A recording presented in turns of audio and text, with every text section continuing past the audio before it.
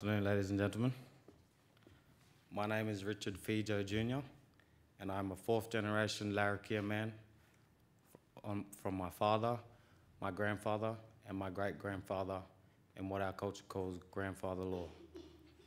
Traditionally, when people from other lands visit Aboriginal country, a welcome to country will be performed by a traditional owner, not only to acknowledge the original inhab- inhabitants, past and present, but to give those receiving welcome to country safe passage through our lands under the guidance and protection of our ancestors.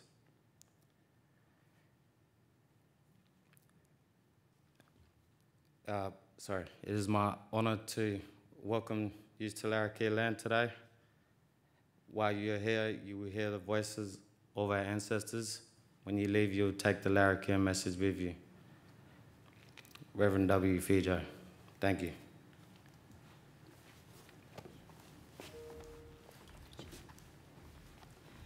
Thank you, Richard. Now, before we begin, I'm just going to take care of a housekeeping issue. So we have two audiences in the room. One is online and one is in the room.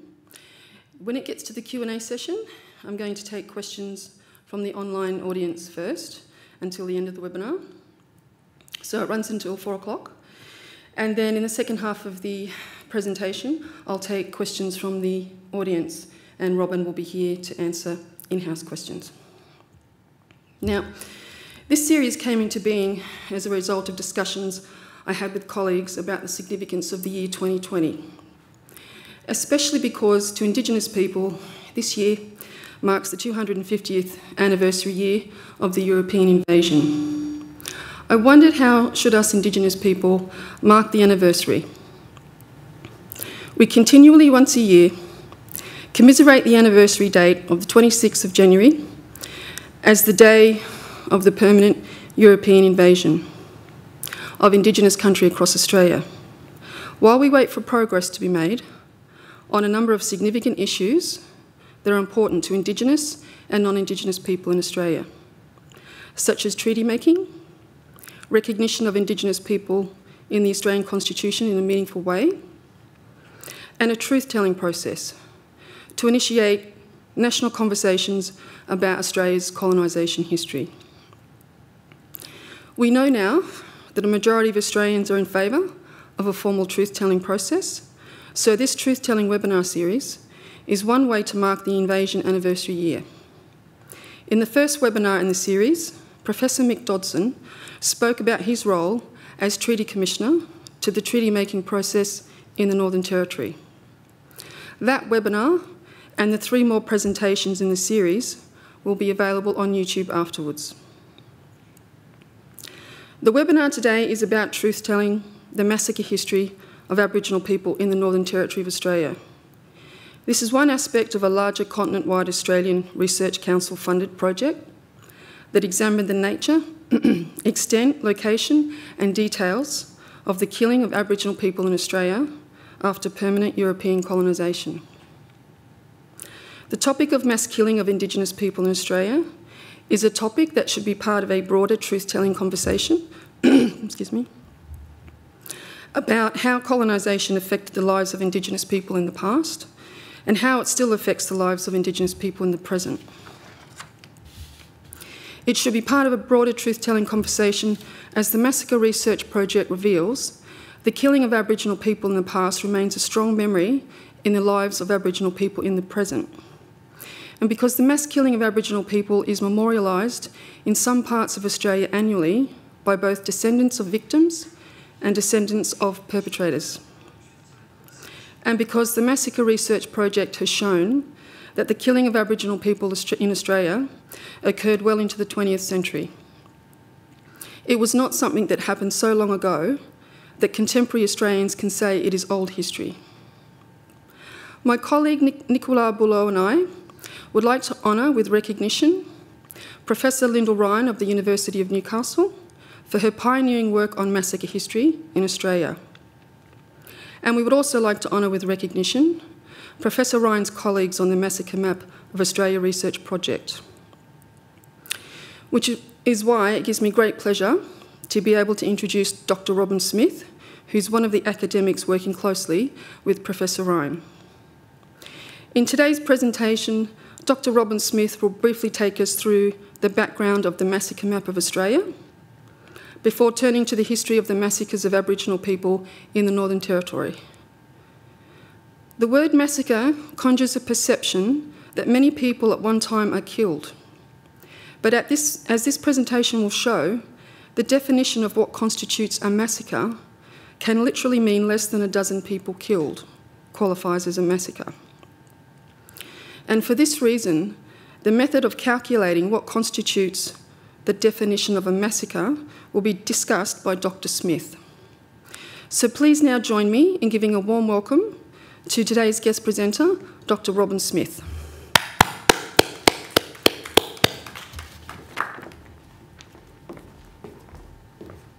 Thank you, Kelly. Thank you, Richard.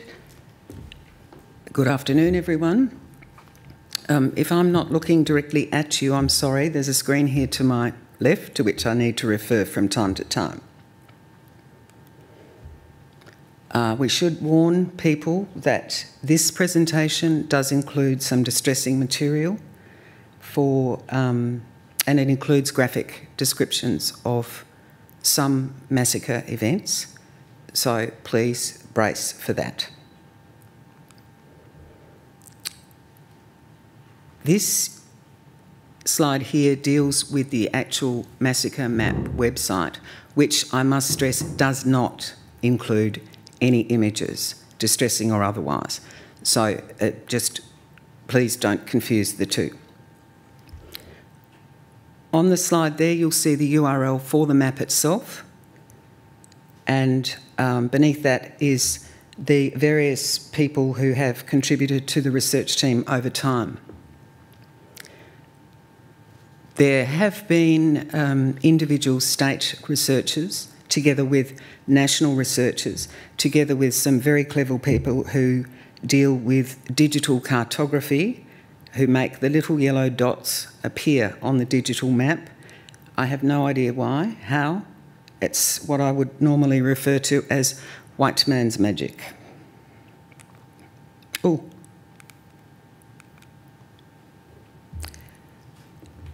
This, um, this image here is, was Australia in about 1780.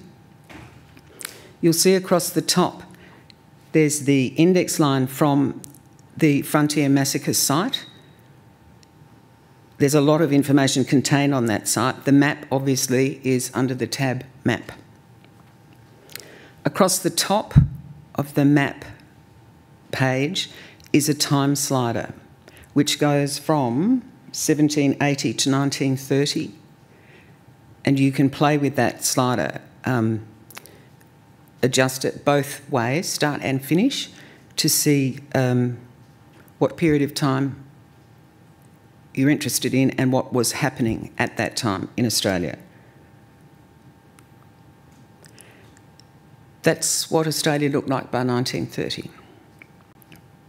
And that, I must say, is indicative.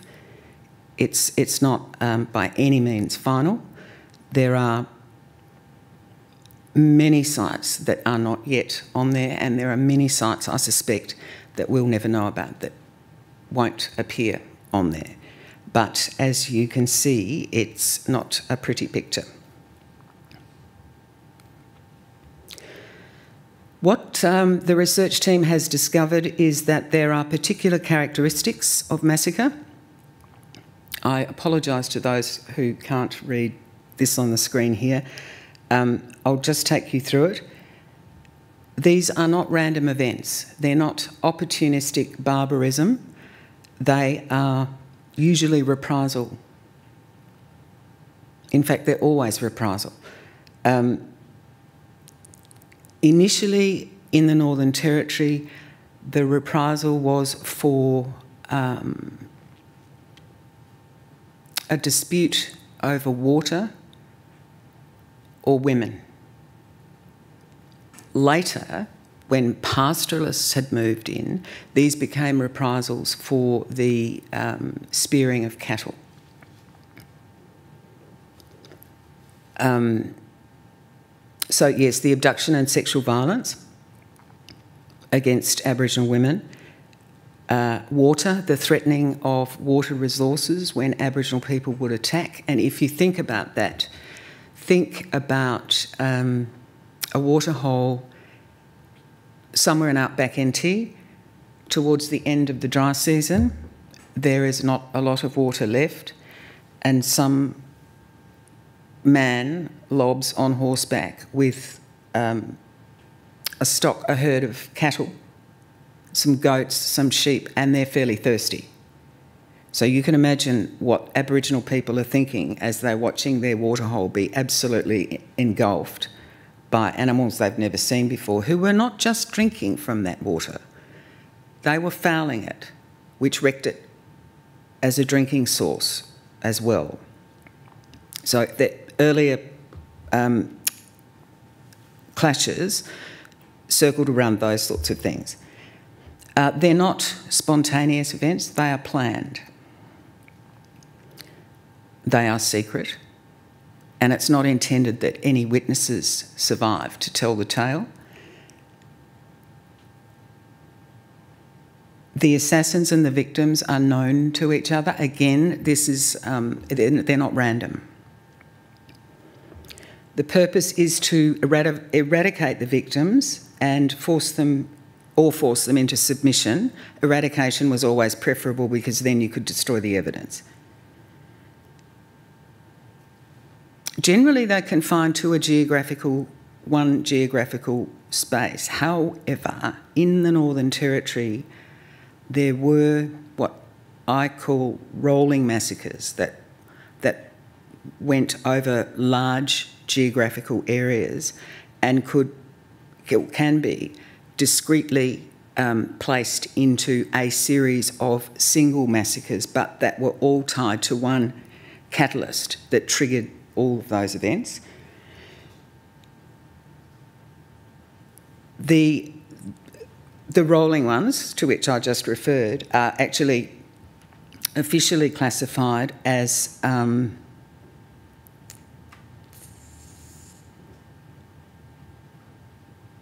genocidal massacres. And that, that's, that's the name given to uh, events such as Coniston because that rolled over uh, many weeks and a very great geographical area. Um, but there are others. There is a code of silence afterwards which indicates that people knew that they were either acting illegally or immorally uh, or against the laws of nature or whatever. However, people will often talk about them long after the event, and by that I mean perpetrators and survivors. In fact, there are cases where perpetrators actually wrote in newspapers, books, uh, various publications about what they had done, but sometimes 20, 30, 40 years later. And the most reliable evidence, of course, is provided by the uh, witnesses, perpetrators, and survivors, again, long after the event. Michael, I keep turning this off. All right, so in the Northern Territory, potted history of um, white visitation, because we know the Macassans had been coming and various other exchanges had been going on. But basically, by 1869, George Goyder had climbed up over the cliffs at Bullocky Point and blam, white settlement, and so the Northern Territory of South Australia was established. Now, with that, came the overland telegraph line. And if you move that time slider to when the OT line was under construction, you will see that the first massacres, the dots that appear on that map for the Northern Territory, are along the Stuart Highway, it, heading from the centre north. That was the overland telegraph construction. The ones up in the top end to the east and west came later.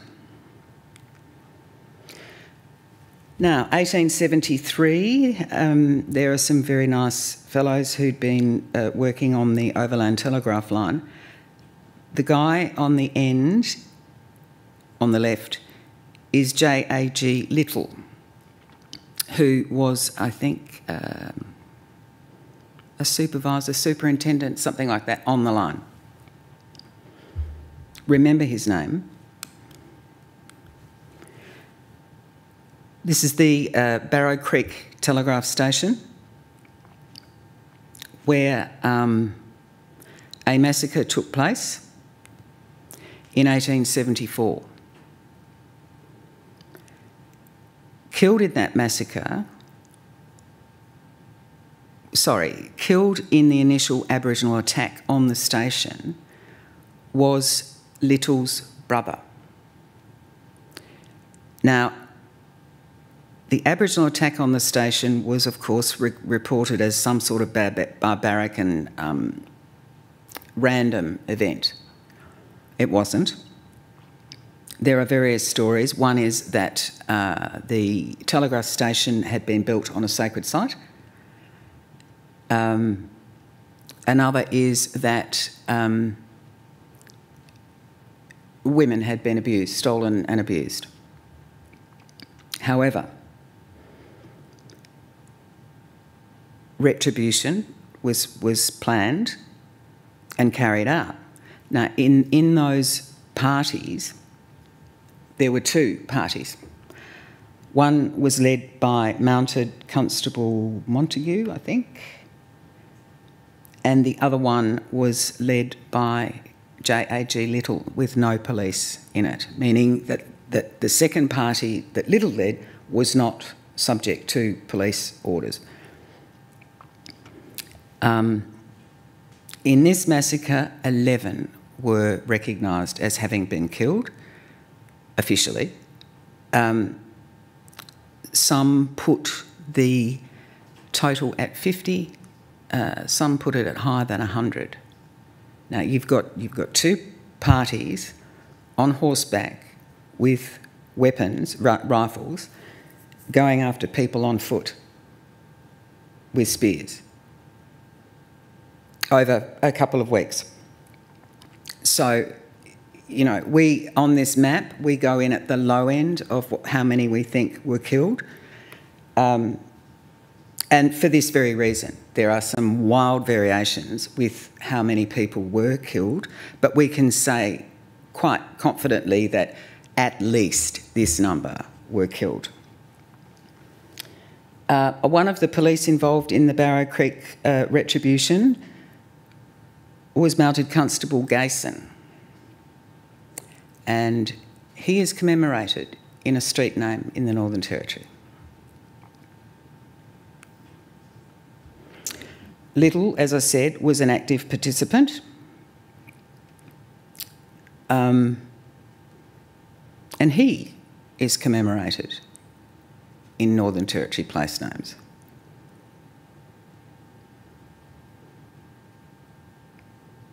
Ah, now, this one is actually an example of uh, a rolling or genocidal massacre.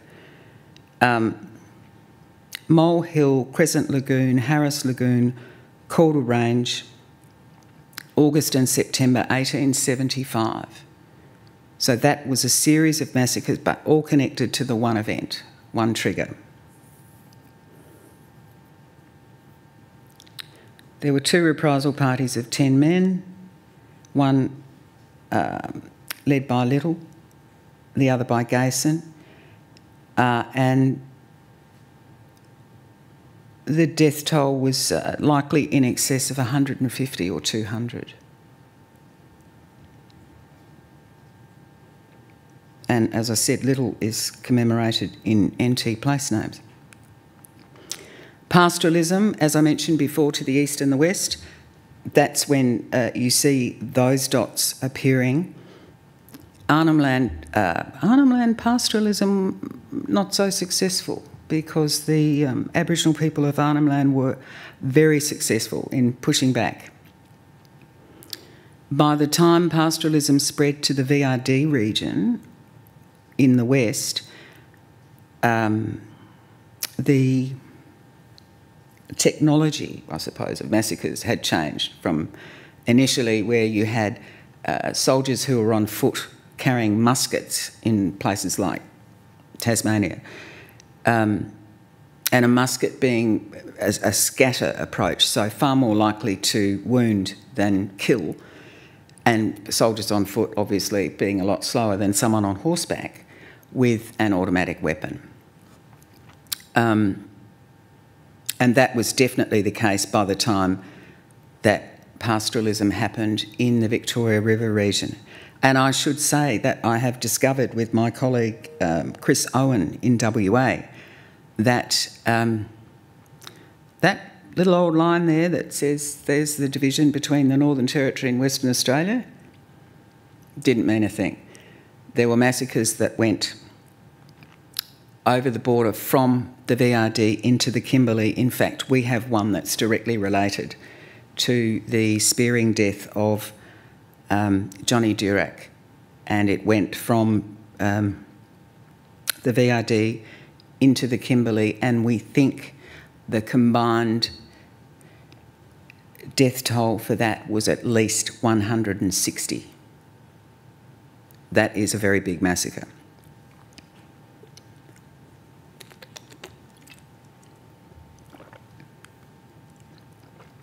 Uh, this, which you won't be able to read, is an administrator's report to um, the South Australian um, governor, dated the 31st of December 1884, and the heading of this is Aboriginals and Settlement. But the bit that is circled there uh, Mr. Lindsay Crawford states that on the Victoria River, the blacks are daring and defiant. On the Limmen River, they're spearing his cattle, and that he must take measures to prevent recurrences. That can only mean one thing. And bear in mind that in many of these places, there was no police presence. There were very few police. They were thin on the ground. And so the pastoralists did take matters into their own hands. That's one of the problems that we as researchers have with this map because there's no past, well, very few pastoralists later brag about how many Aboriginal people they killed. Ah, yes, mounted Constable William Henry Wilshire. This guy, um, I think the kindest thing I can say about him is that he was psychologically challenged. Um, he had been in the centre and he uh, wreaked havoc down there. Then, after a trial in which he was found not guilty of murdering Aboriginal people, he was posted, I think, in Port Augusta. It might even have been back in Adelaide. But when they were having all this trouble in the Victoria River region, what did they do? They sent old William here to um, go and sort it out. And that is just such, that is exactly the type of portrait that I would expect Wilshire to have shot of himself. Among many other massacres, um, was Black Gin Creek in 1894. And I'm quoting from Wilshire's book. In the month of June 1894, we came across some tracks of natives that had been recently killing cattle on Victoria Run. They scattered in all directions, setting fire to the grass on each side of us, throwing occasional spears and yelling at us. It's no use mincing matters. The Martini Henry carbines at this critical moment were talking English in the silent majesty of those great eternal rocks. The mountain was swathed in a regal robe of fiery grandeur, and its ominous roar was close upon us the weird, awful beauty of the scene held us spellbound for a few seconds. So he's bragging right there about a massacre. Um, and that extract indicates that not only was he there, but he was its mastermind.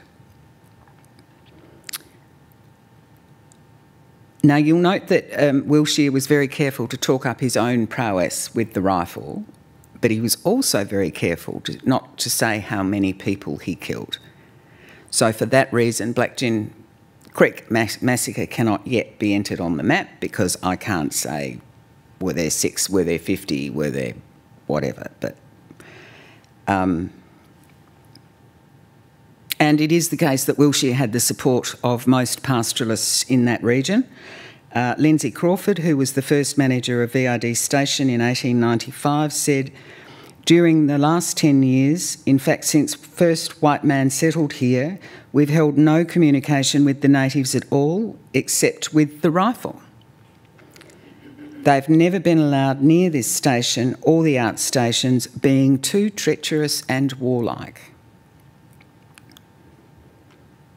William Wilshire is commemorated in Northern Territory place names. And interestingly, actually, the Alice Springs Council, uh, Alice Springs Town Council, at this very moment is engaging in community consultation about whether that street name in Alice Springs should be changed. Now, it's not up to the council, they have no power to um, make that decision, but they can lobby the Place Names Committee to have it changed. And it is quite contentious in um, Alice Springs, I can tell you.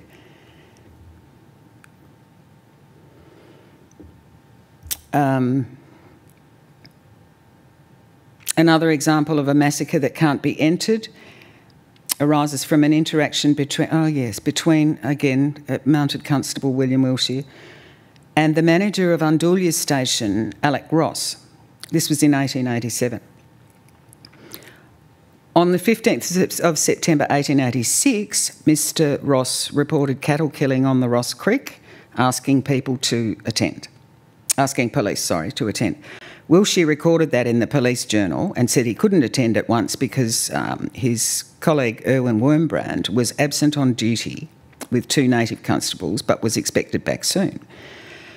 Wilshire left for Undoolya on the 29th of September, returning on the 24th of October, having made inquiries and a search.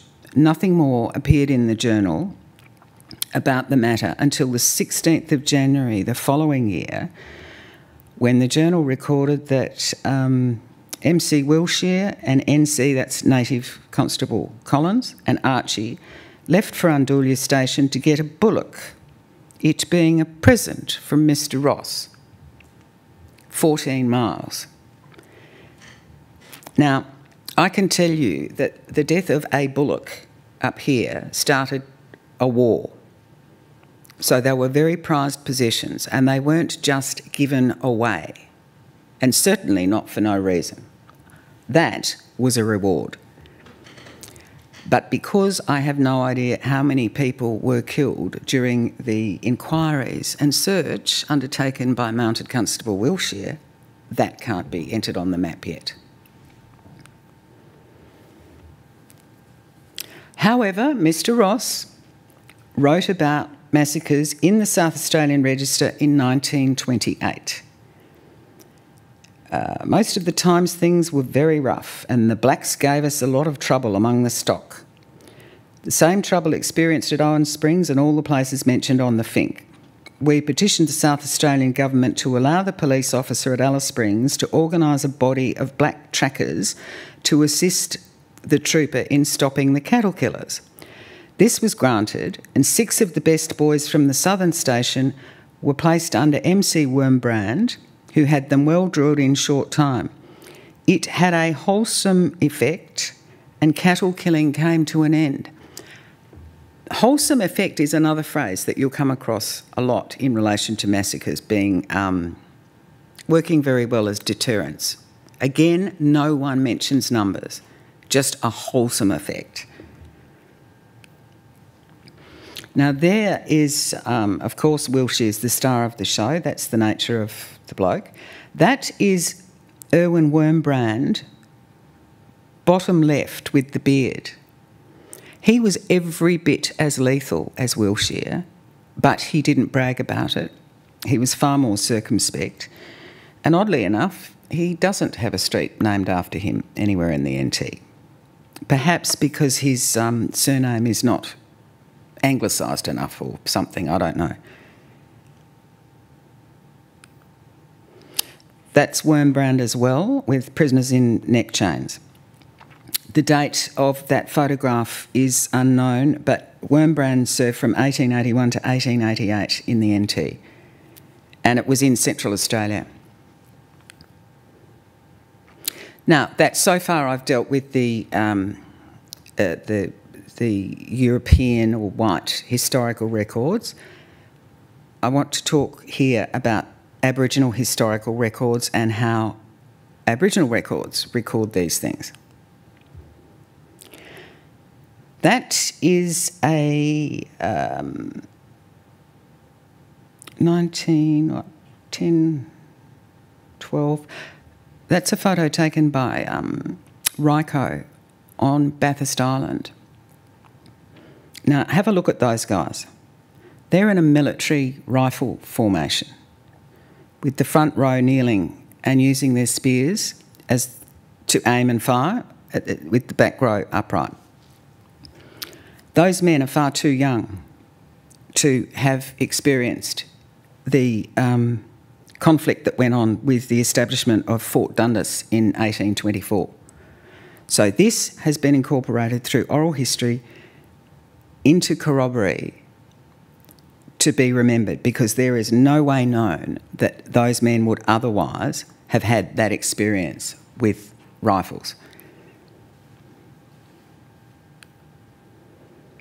Now, this one, it is at Rabuna Island. Again, it's a Ryco, 1916. It doesn't identify, but it is possibly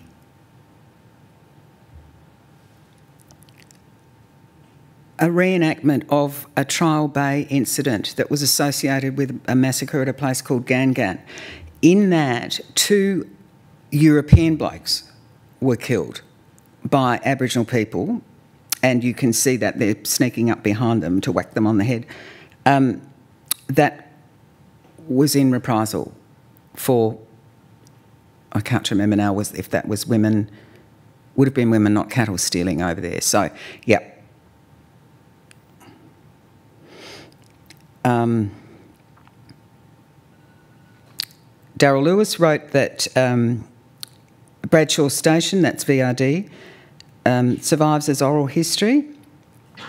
Peter Murray, who owned Coolabah and blah, blah, blah. Following story by an Aboriginal man named Johnson. Bradshaw had continual trouble with bush blacks breaking into the station store and stealing bags of flour, tobacco, and so on. Eventually, the station whites decided to leave a bag of flour laced with poison in the store. The bag was stolen and a big mob of Aborigines were pointed. Poisoned. Nicola was pointing. Uh, a similar incident at Florida Station, once again with poisoning. Richard Trudgen wrote about this. This was done with poisoned horse meat. And Trudgen writes, uh, to this day, um, Yolngu people won't touch horse meat because that fear of being poisoned lives with them. Um, now, that was 1885 that that happened.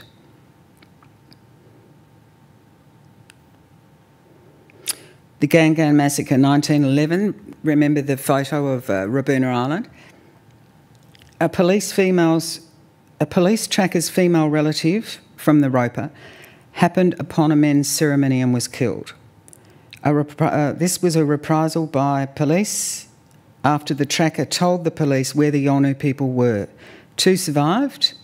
Galarrwuy Yunupingu said, At Gan Gan, these men on horseback performed their duties and killed an entire clan group men, women, and children. They shot them out and killed them any way they could so they could take the land. Then they rode to Barani Barani and killed many of our um, Yawidi Gumaj, the saltwater people who cared uh, for the great ceremonies at Barani Barani. There are few places in our lives as sacred as Gan Gan. From its fresh waters, all things come, and Barani Barani. Bronwyn Yunupingu wrote about Gan Gan. And she said that while the men were away at the ceremony, women and children were in the camp. None of them knew that a party of men with guns were riding towards the camp on horses. They were led by a man called Balani, also known as Bilhani, not the waterman Bilhani, a yellow fella from the Roper River area. The armed men rode into the camp and shot the older women. The men heard sh the shooting, ran from their spot to see what was happening, saw their wives being shot dead, so they attacked the killers with spears. The rifles were too much for the spears, and the tribes were driven back to a large lagoon nearby. The men who went into the water were shot and killed. Other women shot and killed at their camp. Young women, children, and men were captured by Bilhani's men. Bodies were lying everywhere. Those hiding in the bushes watched Hani and his men start their journey back, taking with them the captives. But this is not the end of the story. He returned next year and collected skulls of the people he'd murdered, and later he sold them to a museum and made a lot of money. He came back, he went to Trial Bay, which is where that photo was taken, and he went to Burani Burani. There they shot more people, and he went back and he collected the skulls. Bosun's Waterhole Massacre, same thing. Juki Pump Jack told a story, and I'm running out of time, so I will not read this one out. But um, his account was corroborated by Tim Rowse, among others. And that Bosun's Waterhole Massacre, the, the trigger for that was uh, the spearing of a milking cow.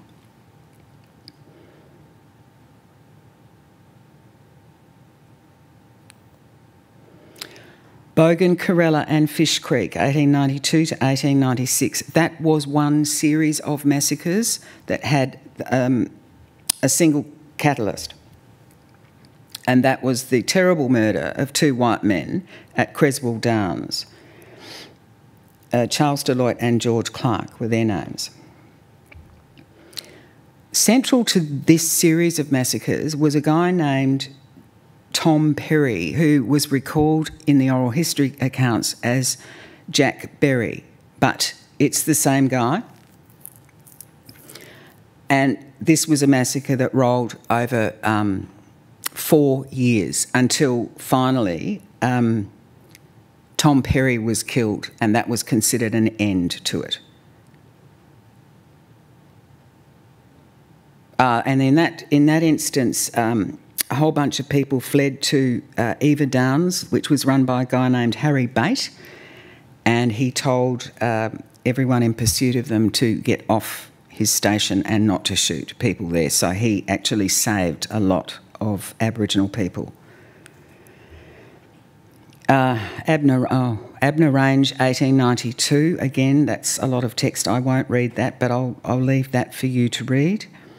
This, these slides will be attached to the, um, the YouTube presentation of this lecture. Um, yeah, one of those in this Abner Range series uh, was uh, took place at a place named Malakoff Creek, uh, which was named by a pastoralist named Tom Linnett after a bloody battle in the um, Crimean War so, um, another thing that I could say quite safely is when you're looking at maps, place names, those sorts of things, consider the types of names that are used and see whether you can figure out how something got that name. Uh, artwork, of course, is um, uh, principal way that Aboriginal people record their oral history. This one's called Remembering the Directions in Which People uh, Fled. by a Yuan Damu um, artist. And this is a spectacular series um, of photographs by Therese Ritchie called Lead in My Grandmother's Body. Now, that's my dreadful photography with all sorts of reflections coming off the paintings, but each of those individuals, including the children, have a bullet um, in the photos. The men have the bullet between the teeth, the children, it's in their hands. But um, it, it really, really striking work. And they are people from uh, the Gulf country, Borroloola, um, Yanyuwa, people, I think, from memory. So they are dealing with the, um, the massacres that took place there. Before I move on to nomenclature, I just want to mention um, libraries. There are a whole bunch of libraries in outback Northern Territory, and by that I do not mean buildings. I mean people, Aboriginal people who carry this knowledge in their heads uh, through oral histories, um, teaching, ceremonies, those sorts of things. Um, I need to become a member of some of those libraries so that I can get to those people and speak to them if they are willing to do so, because they will be the key to untapping all the um, all the massacres that we don't yet have recorded. So, this is what I was mentioning before about the names of things Massacre Hill, Skull Creek, Attack Creek, Blackfellow Bones Bore, Black Gin Creek, Waterloo, Mistake Creek, Nigger's Leap, Nigger Creek, Blackfella Island, Black Hill, Black Bore, Policeman's Crossing, Poison Creek, Poison Creek Bore, Malakoff Creek. All of those are clues in researching massacres.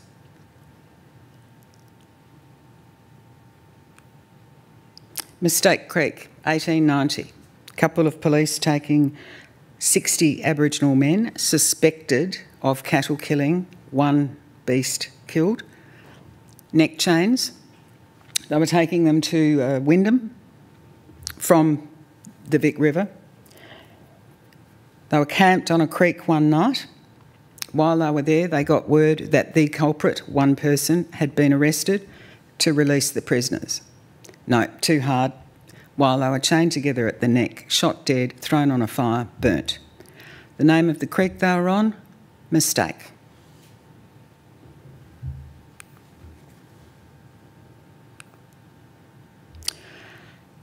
Frontier Massacre Project is incomplete and probably always will be. We, we don't know whether we'll finish it. We, how could you know that?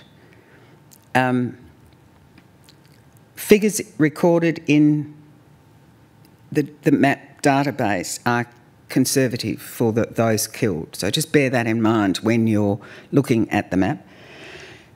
Australia has yet to acknowledge frontier massacres. And the NT um, has the highest average number of victims per massacre at uh, 40.19 which is marginally higher than um, New South Wales at 39.37. But bear in mind that it was massacre was probably a lot easier up here because of the space and because of the lack of police presence and soldier, you know, garrison groups and, and those sorts of things. So people could do their own thing um, unseen, if you like, which may or may not explain why we seem to have the highest average. I don't know. And I will leave it there. Thank you very much. Thank you, Kelly, for having me. Thank you, Robyn. Can everybody join me to give Robyn um, a very warm thank you for that presentation? And uh, Robyn, we do have a lot of uh, questions that have come in from our online audience, and we'll get to those in a moment. I would just like to begin and open the Q&A session with some comments um, and to say thank you. The um, presentation was very interesting, um, very uh, sombre content, um, and uh, there's a lot uh, that I would like to um, talk with you uh, some more about the presentation. Perhaps we can do that in the next hour. Um, we are running out of time, and I will get some questions from people online in a moment. But it seems to me from listening to your presentation that um, in terms of the truth-telling theme, um, there are a number of uh, issues that come out of your, uh, your presentation there. Um, you know, this history of around a code of silence in Australia and the um, way that manifested in terms of how communication uh, about and how messaging um, about the killings um, occurred between perpetrators um, and, the, and the sort of um, broader frontier community um, through the way uh, you know killings and intent to kill were written about in the archive records is very interesting, as is the fact that uh, as you were referring to the names of places where uh, that are known massacre sites, it seems to me that there is a whole um, landscape of memory there um, about history of um, truth-telling massacre history that is not, you know, it needs to be addressed in terms of the conversation about history through, um, you know, it can come about through the treaty-making process um, and, you know, uh, we have to think about uh, ways of uh, initiating the conversation in our local communities with people. Uh, I would like to now switch to having a look at the uh, online questions. And You need that. this too. Just while you're doing that, um, one co- I should have mentioned um, the language that you mentioned, Kelly, with police with and bet- between police, pastoralists, all those sorts of things. Um, euphemisms were very popular. So, um, parties that went out to disperse the natives were not dispersal parties at all, they were massacre parties. Um, Police Inspector Foelsche invited one of his officers, who was down in the bush somewhere, leading a reprisal uh, massacre, he, he actually wrote, I cannot give you specific instructions. However, I invite you to have a picnic with the natives. What, what else could that mean except shoot at will? So, yes, the use of language, the, it, that was almost code between them, and, and they each, they all knew what that meant. So, yeah. Okay. We have a question here from Reese B. How big were the posses? Varied. Um, usually they were comprised of one or two police officers leading different parties, and the rest were volunteers. So they could, of course, in the pastoral districts, they would have been pastoralists. Um, closer to town settlements, they could have been, you know, the mayor, the publican, who was often the mayor anyway, the schoolmaster. It, it just depended who was around. At a guess, I'd say six to eight in a, um, a reprisal pack. They were armed by the government, though. The ammunition was supplied by the government. And one very frustrating thing that I found is that if anyone was accounting for how much ammunition out and how much ammunition came back, it never made it into a record anywhere. So that's another thing we don't know. These are just these are gaps in the story. Okay, now, um, all right, so, excuse me, a lot of the um, online uh, audience has, has moved on. But what can you uh, tell us about the difference in the role between police trackers and um, native troopers? in terms of facilitating, you know, incursions on, in, onto country um, through bush and uh, facilitating the, the killing of the whites. Mm. Um, there were those up here who were advocating for the what they called the Queensland police model, which was the use of what they called native police. Pastoralists wanted it, some of the police wanted it, the South Australian administration did not. So while there were um, native constables, they were called here, they tended not to be armed because the Queensland Native Police were lethal. And one of the reasons for that, of course, is that people picked them up and put them on the wrong country, and of course they were terrified. And they had weapons, so they used them. Now that just turned into wholesale bloodshed. So that model was never adopted up here, but they did have native police, and they were, on the whole, imported from Queensland. You know, obviously they were very good trackers. Um, but it was not as devastating in the NT as it was in Queensland or had been in Queensland. Okay, well, um, on that note, I think uh, we've reached time and uh, most of our online audience have um, moved on. So I might um, say once again thank you very much, Robyn, for the presentation today. It was very interesting. Thank you. And um, could you join me, please, in giving Robyn a, a warm goodbye clap? Thank you. Thank you.